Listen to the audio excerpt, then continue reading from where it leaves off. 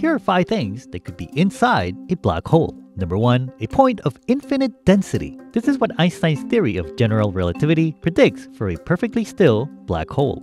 Number two, a wormhole to another universe. One solution to the equations of a black hole is that it connects to a white hole, which is the opposite of a black hole, through something called an Einstein Rosen bridge. Number three, a ring where time and space end. If a black hole is spinning, as most black holes surely are, then the spin creates an inner horizon where scientists believe all the stuff in the black hole accumulates, plugging up the flow of space and time.